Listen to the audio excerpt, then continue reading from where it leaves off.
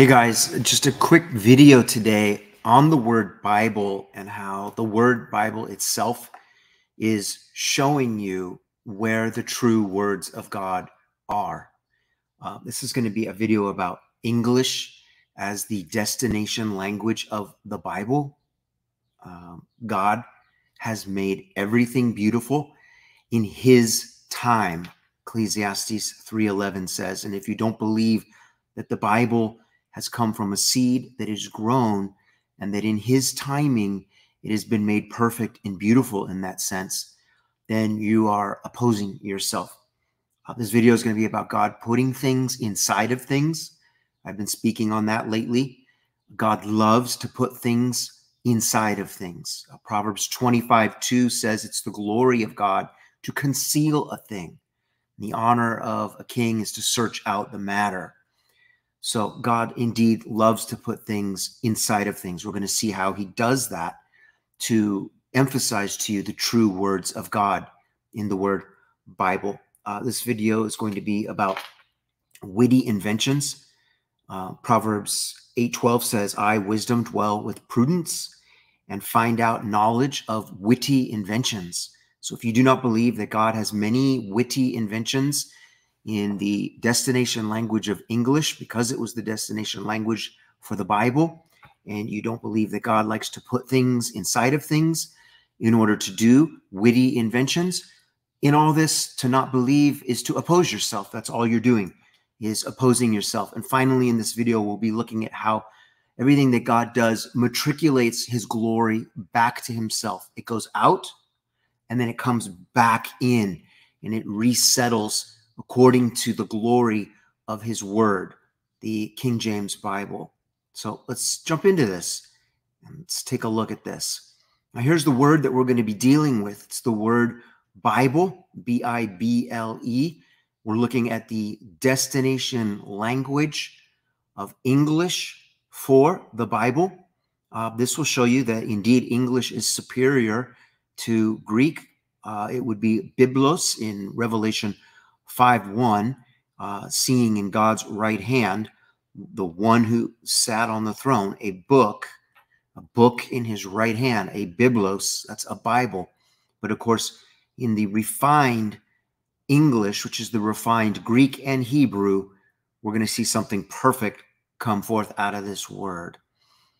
Um, Psalms 11:3 says, "It is the uh, I'm sorry, if the foundations be destroyed, what can the righteous do? Foundations are very important to God. This is God 101.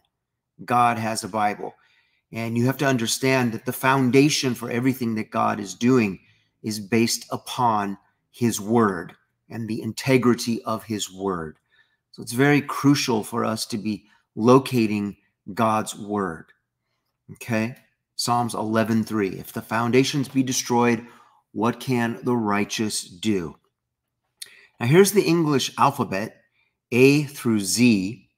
I put John 7:15 here because the uh, people, the Pharisees, they marveled at Jesus, it says in John 17, 15, and they said, How knoweth this man letters? See, Jesus wasn't known for words, speaking words uh, he was known and marveled at for knowing letters. Now, those letters made up words because letters are the foundation of words. Without letters, you cannot have words. So, letters are extremely, extremely important. And Jesus is recognized for knowing letters.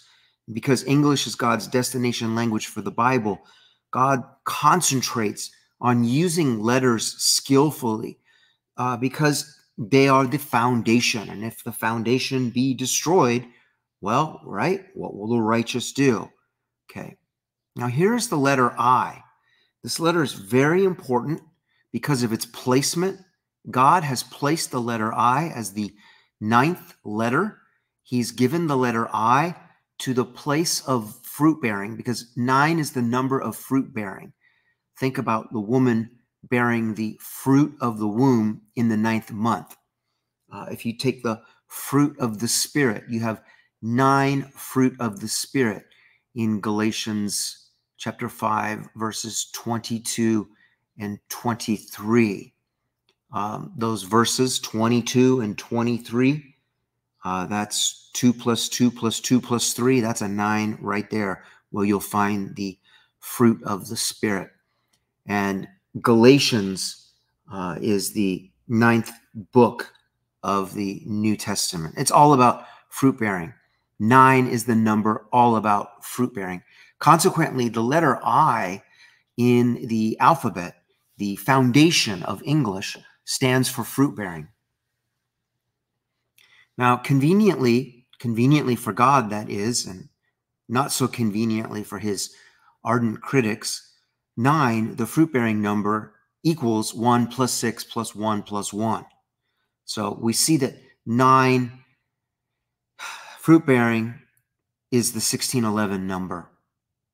Now, see how God's put 1611 in nine? He likes to put things inside of things.